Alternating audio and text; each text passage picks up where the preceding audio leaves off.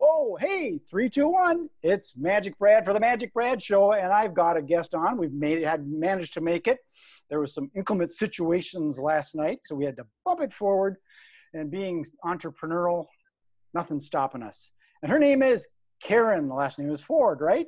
Yes. Like the car? No, not well. It is like the car, but I'm not related. oh, sure you are somehow. You better check that out. You might be having some stocks growing up. Hey, there you go. so you're out in the west or the east, out east, West Virginia, right? That's right, the eastern part of West Virginia. Also make it really complicated. You're on the east coast and then the western Virginia, and then that's right. the interview yesterday with someone from Florida, and, I, and they said they're from Florida, and I said, "Oh, out east." He goes, "No, West Florida." And I'm thinking, West Florida? Oh, I get it. It's a peninsula. so you married and got kids and all that kind of stuff, or you oh, single and crazy? You got a herd? Oh, married, kids, grandkids, the whole nine yards. You got them all. Not at all. I don't have any children myself, but uh, my old business partner had kids and they had grandbabies, and that was his life. And my wife's got one. I'm more of a spectator. There you go. I get to watch from afar. That's it. How long have you lived there in uh, Virginia? Well, I've lived my entire life in West Virginia, actually.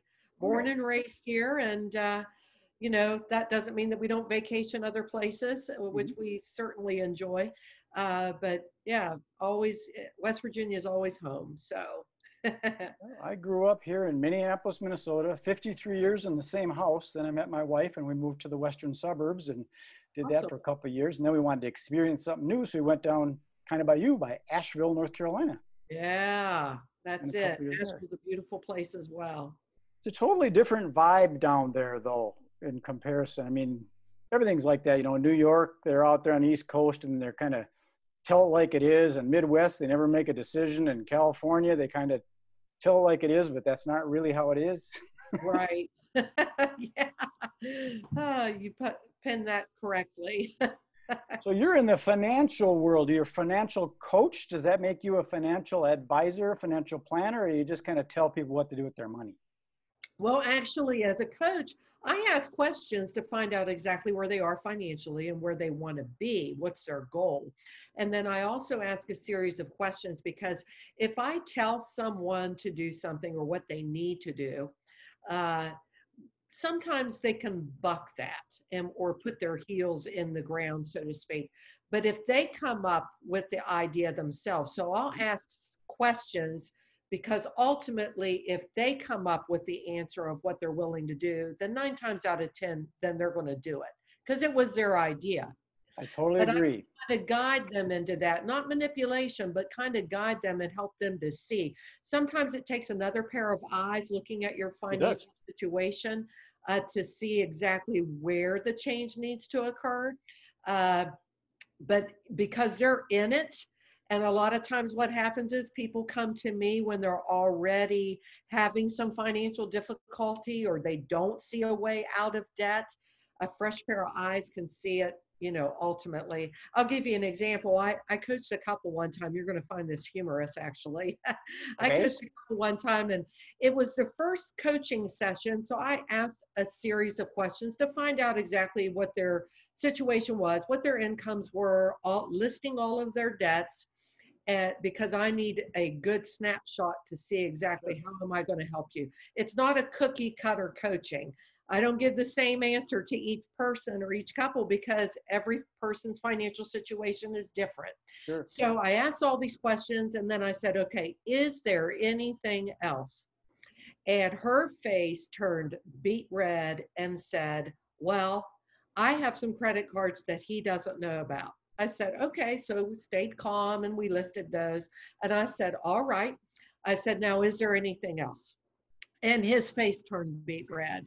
and he said, Well, I have some credit cards that she doesn't know about. And I said, Okay. So it stayed really calm. It actually could have turned into a marriage counseling session. Mm-hmm. But at mm-hmm. the end of it, I said, Now, look, you know, we could turn this into World War III right now, but we're not going to do that well, we have all the cards on the table, no pun intended. I said, but we've listed all of the debts. So now what we need to do is we need to move forward. And so, long story short, they had an astronomical amount of debt. They had credit cards that they both knew about and both were on those cards, but then each of them had cards that the other one didn't know about. All in all, between the two of them, they had 86 credit cards. 86 oh, credit cards. And uh, that was um, that was eventful. That was an eventful coaching because every one of those cards had a balance on them. Oh, absolutely. And so, you know, that was interesting. But, you know, teaching them and coaching them into how to get out of that debt and what to do um, and then they started applying it. So that was great. So that's why I say it's not a cookie cutter coaching that I do because everyone's situation is different. Well, it makes a lot of sense. I like your approach where you ask the questions and it's not manipulative because some people can use that, uh, you know, that neuro linguistic programming and that's a powerful thing. And if it's right. in the wrong hands, like a timeshare salesman that just wants the money, right, it can get pretty bad. But uh, asking the questions that does put a it, it opens up something new in their head like, um, oh, there's yeah. a, a guy that uh, I used to work with that did trade show sales training, and he talked about, he called them Emerson's six friends who, what, where, when, how, and why. And he would ask those questions. And that way, the person gave you very good data, like things like, you know, just are you the person that's responsible for making the purchasing decisions?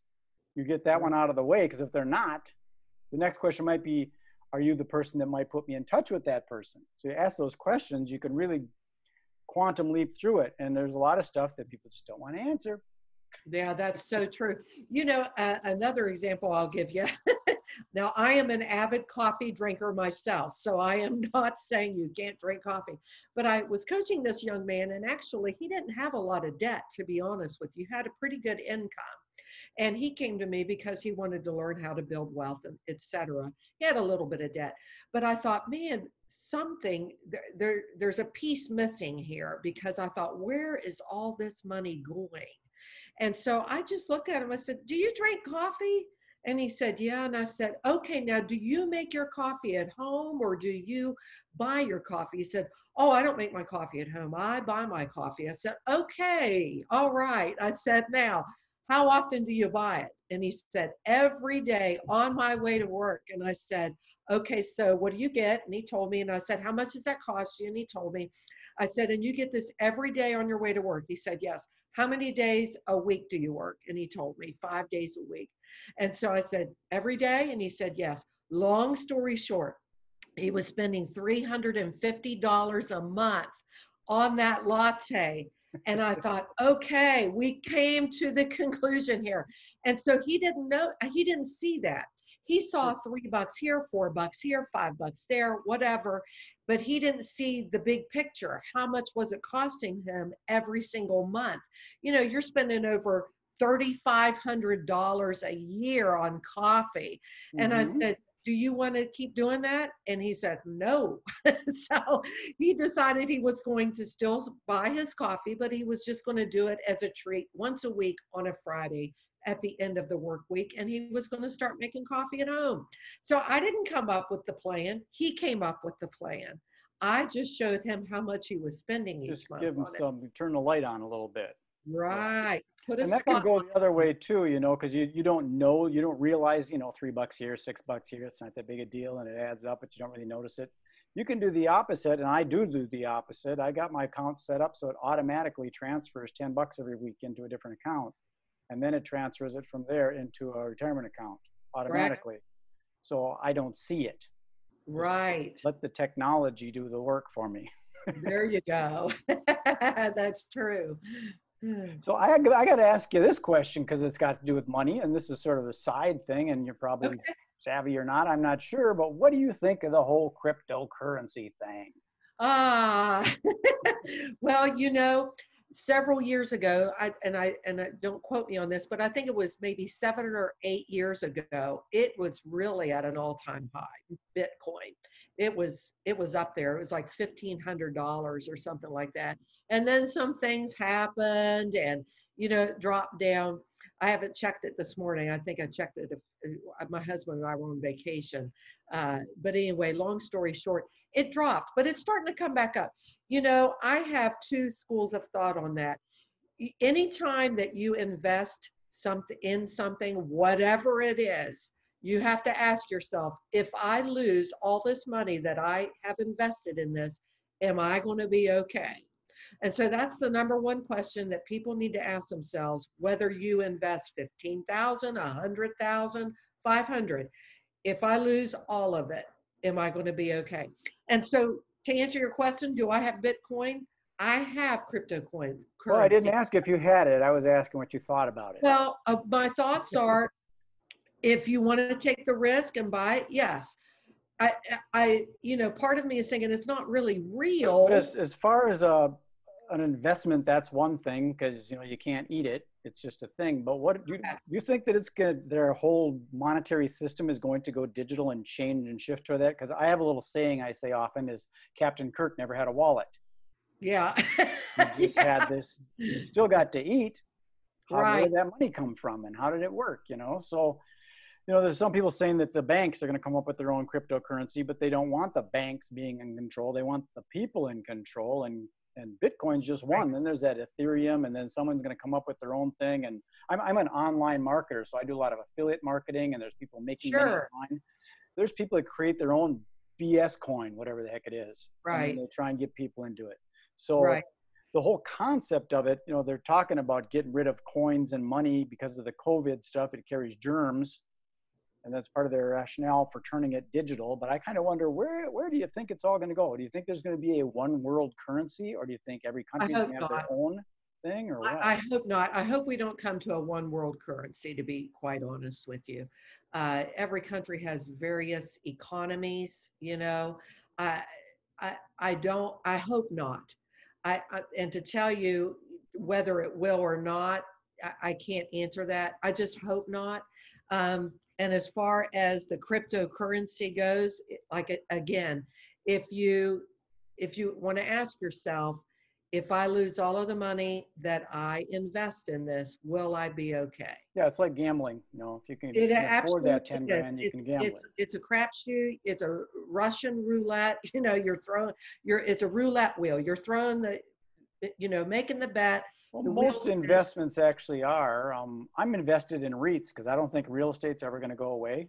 I think uh-huh. we're always going to need a roof over our head somehow. Love, love, love, love real estate. But you yep. never know what's going to happen. But it's the the REITs that I'm in involves with uh, it's commercial, residential, storage lockers, shopping centers, vacation homes, retirement homes.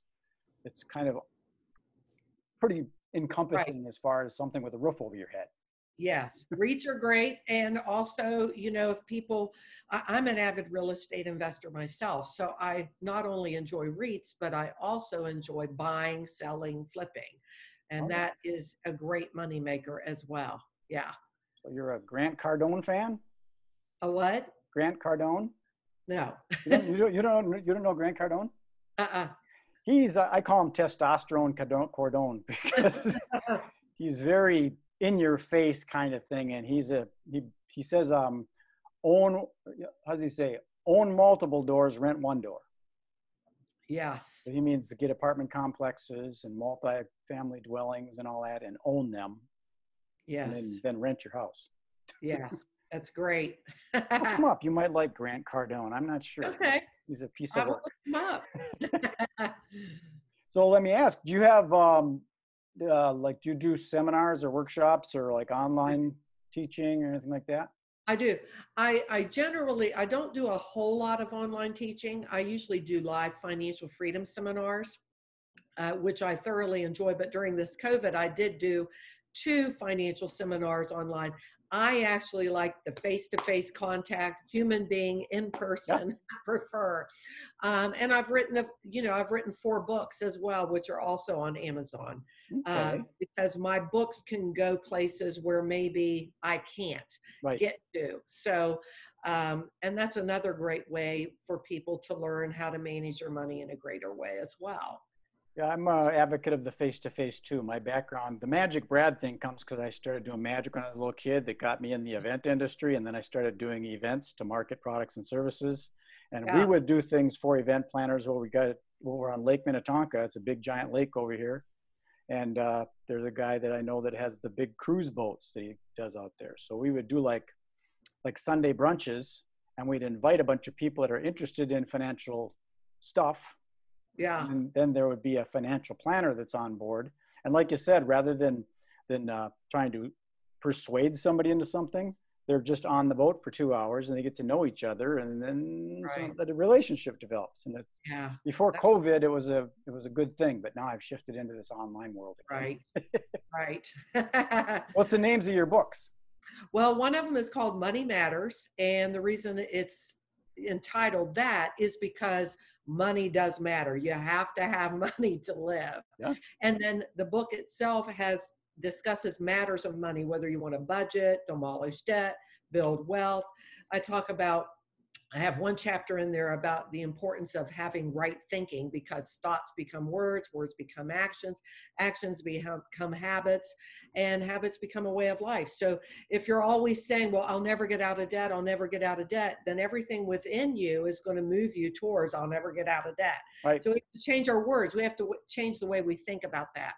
Uh, so that's one book, Money Matters. And then the first book was 31 Days to a Greater Understanding of Money, which obviously was a first book. That title's way too long. and then Money Nuggets, which is a little mini book. And then I also have a real estate book called You Can Do It. And so real estate investing made simple. You can do it. So and those are all on amazon they're all on Amazon. Okay. Yeah. i will Yeah. link them in the in the youtube description Great. for you so Wonderful.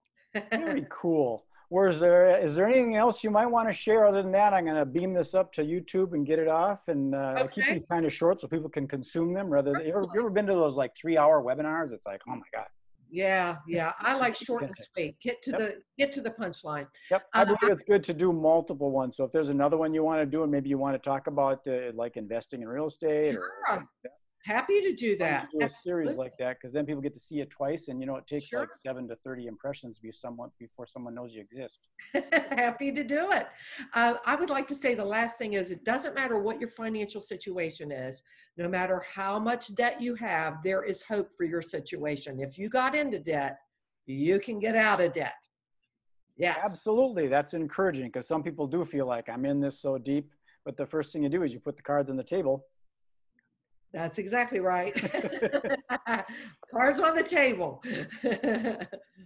Okay. Well, Karen, thank you very much. I appreciate you taking the time and I'm going to get to work and beam this up to the universe. So thanks very much and enjoy the rest of the day. Thank you so much. You too. Peace. Bye bye.